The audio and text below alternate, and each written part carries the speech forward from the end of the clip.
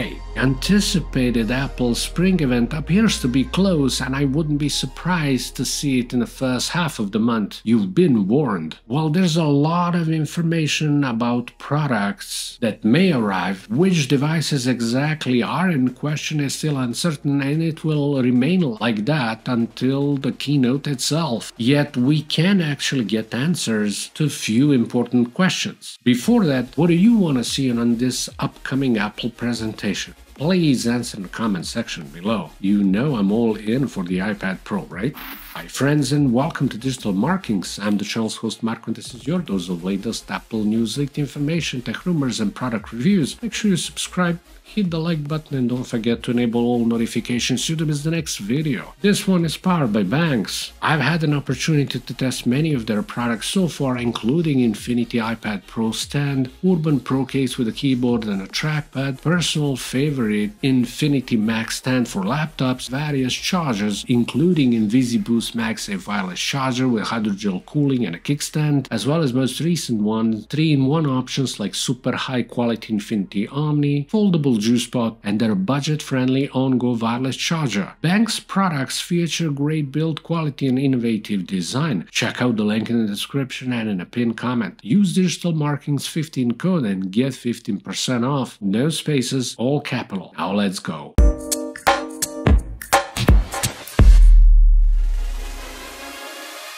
Let's start with iPad Air lineup, the first time ever coming in a pair in both 12.9 and 10.9 inch variants. To simplify things to all of you who are contemplating purchase of 5th generation Air, if you've been considering smaller model, I doubt you will miss much with its newest iteration. The M2 processor will be an excellent addition to already powerful Cupertino's mid-range tablet line, sadly in many ways underutilized thanks to its software and a lack lack of app varieties for so much power under the hood, just as the folks who purchased Pro model last year. They will be able to tell you more. But in that case, you may be better with 11 inch iPad Pro with M1 if you can find one. On the other hand, you can wait since it is not a lot of time till these new iPads arrive, if the leaks and rumors are true. Nevertheless, the true jewel of the latest iteration of the Air will be its bigger version. In a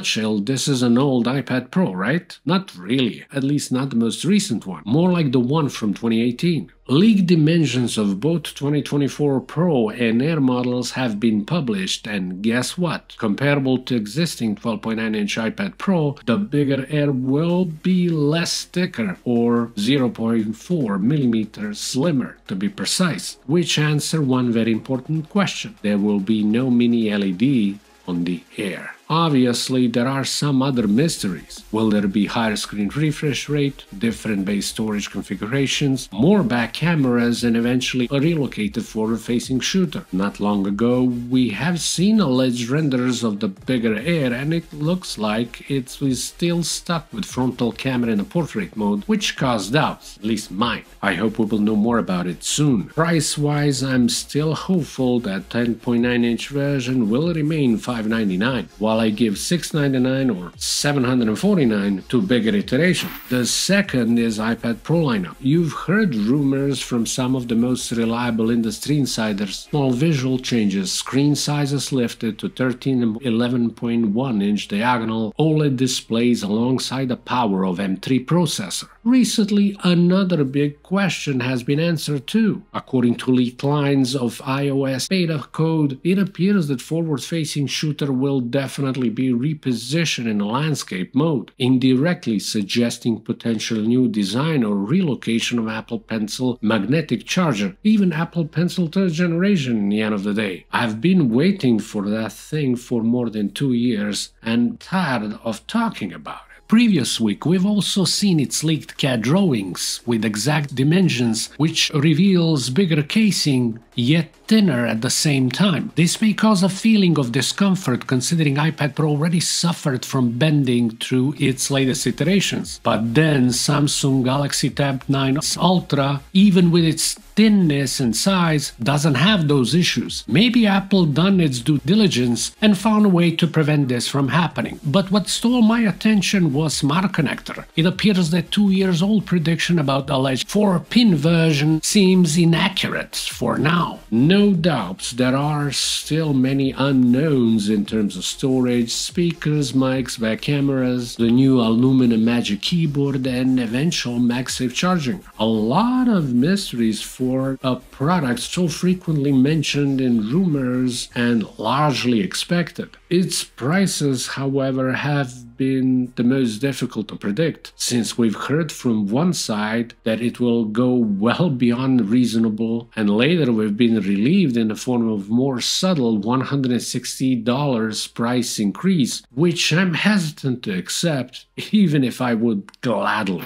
The next MacBook Air will follow the path of the MacBook Pro with M3 class silicon at its core. It will be welcome addition to the Air laptop lineup. MacBook Air with M1 is still a superb animal, but I'm not sure will it live another day on Apple's shelves after this year's generation though. The new Airs will come both in 13 and 15 inch editions, and truth to be told, I don't expect much from these models, just a small refresh, hopefully causing minimal holes to your pocket. Perhaps Cupertino Giant decide to keep the M2 option with 999 price tag, which means taking over over the position of existing M1 model.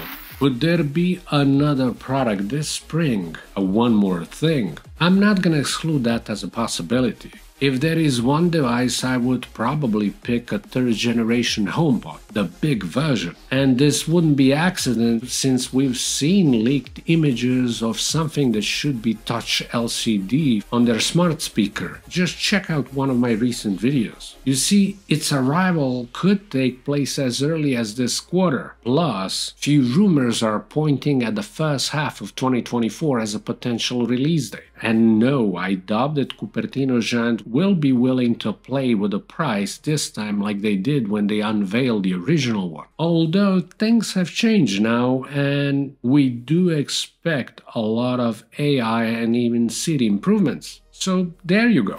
I hope you enjoyed watching this video and if you did please subscribe, slap that thumbs up and turn on all notifications. Thank you so much for watching Digital Markings Channel. I'm Marco, talk to you soon. Have an excellent day. Bye.